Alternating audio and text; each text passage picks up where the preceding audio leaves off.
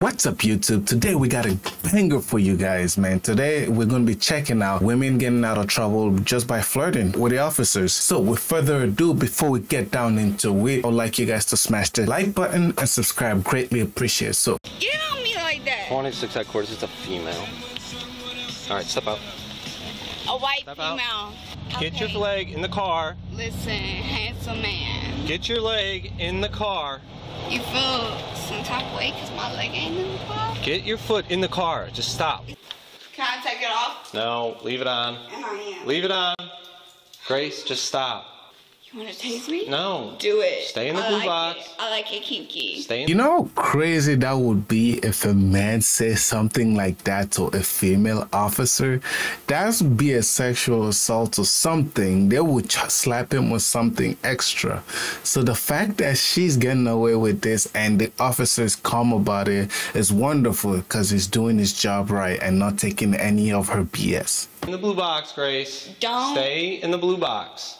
Step back. Just stay in that blue box. Look. Oh, no. Yes. You don't want me here. You don't want me here. Stop trying to rape me. Get in the don't car. put me in the car. Grace. Don't put me in the car. I want to strip outside the oh, car. I want to strip outside the car.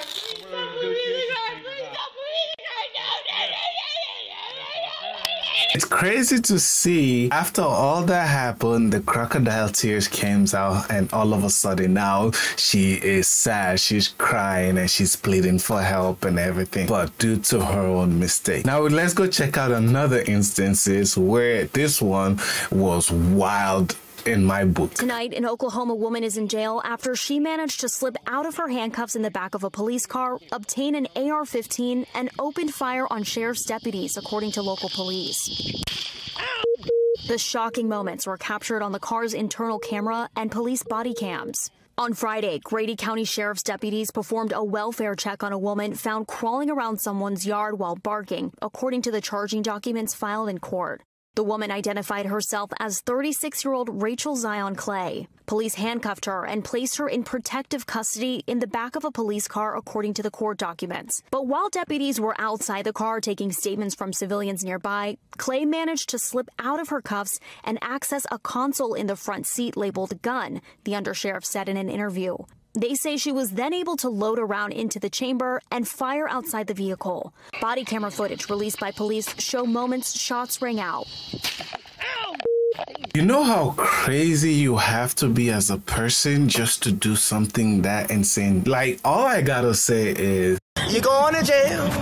You're going to jail. Like how crazy that is. Oh my god, like you are going to prison, not jail, for practically for the rest of your life. Confusion as deputies try to figure out what just happened. Danny, I'm hit right here. One civilian receiving a wound to the chest, he's later taken to the hospital, according to NBC affiliate KFOR, while the sheriff's deputy is only grazed by the bullet. As the deputies and the wounded bystander take cover and call for backup, more shots ring out. Civilian. Got a civilian hit. What the heck? That is just insane that you are literally in handcuffs. You got away with handcuffs, which is wild as it is. Very impressive, by the way. I'm just gonna say it's like I don't know how people do it, but at the same time, you also open fire using officers' assault rifle on them and hitting a bystander. That is balls deep. You have to say that. But at the same time, that's the most stupidest thing and the most disregard for your own life because at any moment, those officers can also return fire. That means you know exactly what you're doing. With the arrival of backup begins an hours long standoff as Clay barricades herself in the police car, refusing to emerge. After three and a half hours of negotiations with police and the deployment of an armored breaching vehicle, the woman finally surrenders. If it means saving a life, you take as much time as you need in order to bring this tactical situation to a successful conclusion. This team also got away with another one by just crying crocodile tears with the cops and got away with getting a ticket. I got out of a DUI and got let off with a warning. Could it be true? Did this teen really flirt her way out of a DUI? No DUI for me, bitches. 18 year old high school student Skylar Fluss posted the video on social media, claiming she was pulled over for drunk driving but talked her way out of it after giving a sob story about breaking up with her boyfriend. You see how crazy that is? Because, like, a man cannot do that. A man cannot go and do a cry about a breakup and then get out of a DUI. You are, is under the influence. She could hit somebody, run over something, kill herself, danger herself, or also danger others' life. But at the same time, she's laughing about it and not taking it serious. If I was that officer, I would have slapped her with a big ticket. I was like, I just got out of a really bad relationship and he's really toxic and he dumped me. She even says she failed a breathalyzer, but instead of arresting her, she claims the cop asked her out. I blew a 3.8 and he let me off with a warning and gave me his number and said we should meet for coffee or lunch. You see, that's the crazy part because she's 18 and she's doing that, and then the cops ask her out. That does not happen very often for anybody else. This is privilege at its finest. The teen also posted video she says was from earlier in the night that shows her chugging tequila and goofing around. Now, the sheriff's office is fighting back, releasing this body cam video that shows what really happened. I pulled you over because you were weaving a little bit back there. Where are you coming from? Um, I was coming from my friend's house. I actually just got dumped. Okay. So I was like crying and like I'm really Okay. How those crocodile tears flowed. Were you on your phone and stuff too?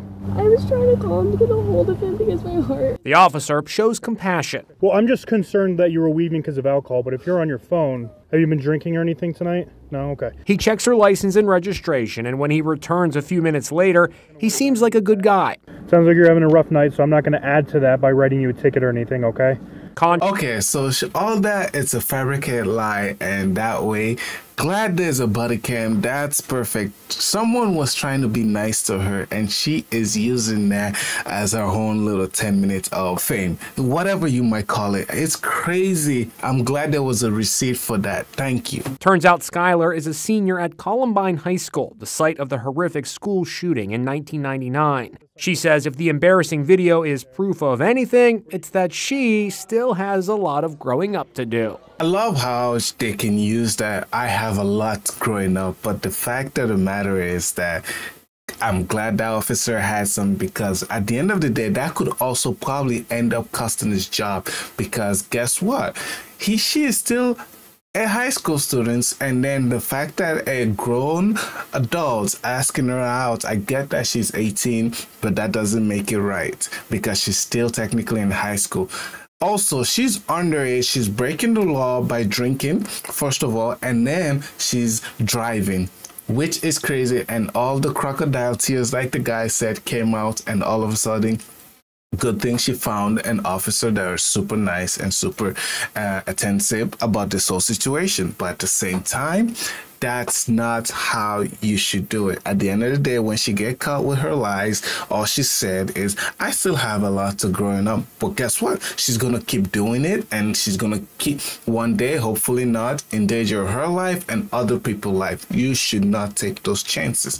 But yeah that's gonna be the end of the video guys. If you guys enjoyed this type of video let me know. Subscribe greatly appreciate it. I can't wait to see you guys. Peace out